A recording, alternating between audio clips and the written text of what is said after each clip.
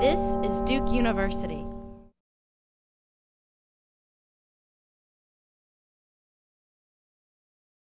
Tell us your path to becoming a judge. Tell us how did you become Judge Webster?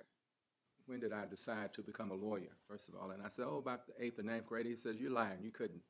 you couldn't have known that early in your career, your life. And I said, yes, I decided that I wanted to be a lawyer. I had read about uh, Thurgood Marshall and others involved in the civil rights struggle, and, and so decided that uh, that might be my way to making a difference. And that's really what I've sought to do for al- almost four decades now.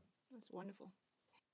So tell us uh, what, what, where in this uh, path in, in writing about Judge Chess, what stood out most to you? if you when you, if you met him, you would know that his life is just very very interesting, and so um, uh, this book really arises out of a thesis that I did here at Duke University uh, as I worked on my LLM um, LLM program that they have for judges here, and um, just a number of people uh, thought it was good and said, you know, you need to publish it, and so that's what I did. And so he went to North Carolina Central. Um, I believe it was in 1952, and uh, which was um, at that time all of the schools in North Carolina.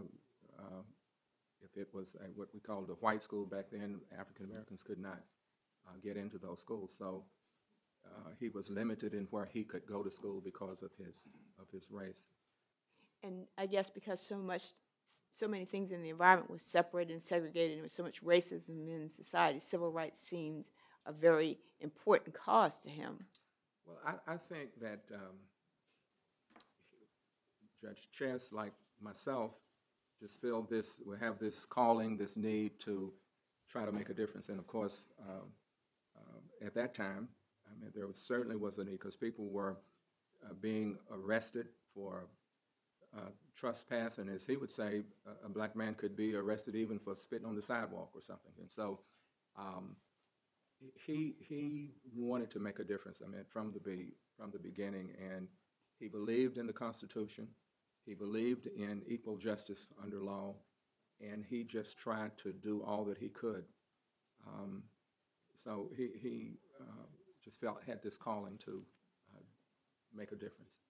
Although, as we lost Dr. King, uh, several other people, I'm sure he felt some thought that his life may be at, at, at risk as well. That, that is true. Um, he took note of why, whether he should or should not continue. He counted the cost, so to speak, and he knew that his family could also be, he made a decision that I, he was going to continue down the path that he was doing, which was to represent many uh, who had been discriminated against. And that as a result of that, uh, he no longer feared death. Amazing. So, from civil rights to judge, what was that path? So he told the governor, said, Governor, um, there are a lot of reasons why you want to appoint the first African American Superior Court judge, and he said that um, the best reason, the, the, the one reason I want to talk with you about because it is the right thing to do. And so in November of, it turns out that in November of uh, that same year, 1971, he appointed um, Sammie Chess Jr. as the first African American uh, judge. Uh, what I've one of the things that I've learned from the book and in learning and reading about others is that you don't have to be uh, a person who is uh, I don't know how I would put it weak-minded or or you, you, you, you can be courageous and you can fight the system, make things right, and then still um, achieve great things. And so I think he did that, and I've been uh, trying to stay on his shoulders all of my career. You also have a first, an African American first as well yourself. Well, um, I was one of the first African American to go practice in my hometown, which it was for, founded in 1818. In fact, I don't think any other African Americans have um, have gone to practice law there. Uh, but also, first African American United States Magistrate Judge for the Middle District of North Carolina. So, um, throughout the 60s, when he was representing thousands charged with trespass and other violations. Uh, and, and all of this, uh, you know, much of it taking place within walking distance from his um, office there. Um, if you could just imagine the, the water hoses and vicious dogs and billy clubs being wielded by racist police officers caused many injuries and deaths. And I was uh, reading a newspaper article, and it said that, um, that after this large demonstration, that many were being held in the local jails without charge.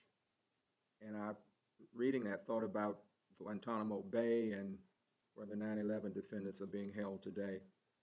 Um, we, when we talked, he talked about the four little girls in Birmingham being blown up on a, at Sunday school, and I mentioned that, and I, you know, we always, when you write something, you always wish maybe that you'd written something else, and I wish that I had uh, written their names uh, because they were somebody special. And, but I know, and all of us know, that their deaths are not in vain. Uh, Chess was the visible attorney in the lawsuit brought against the High Point Board of Education to se- desegregate the public schools there. He, he while he um, did not agree with the views of the Black Panther Party, he, he represented some of the Black Panthers because he, uh, he, like me, believes that everybody is entitled to uh, zealous representation.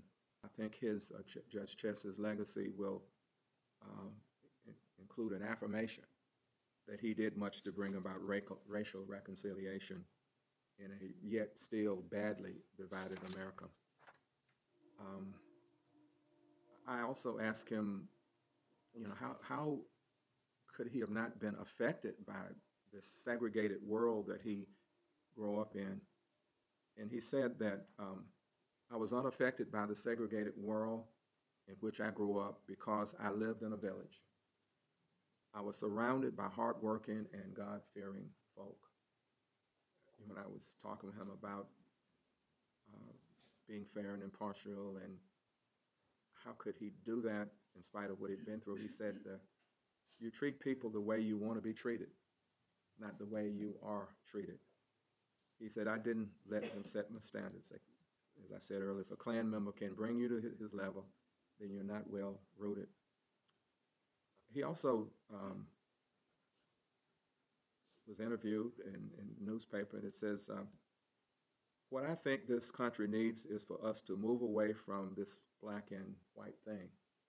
I think the young people are ready to put race and religion behind them in dealing with public problems. But regrettably, we still have some high positions that continue to expose young people to this sort of thing. They keep redirecting this evil prejudice and thus delaying a day of a brighter sunshine. Um, so you see, he was, um, um, A man before his time. he, he was, he was, and if there were really any law students here today, I, he would say to them that a good name is so very important. And he said that young lawyers should search their hearts and ask why they want to become lawyers. He says, first and foremost, they should know that the law is a profession. It is not a traditional business. The key ingredient to becoming a great trial lawyer is preparation, preparation, preparation.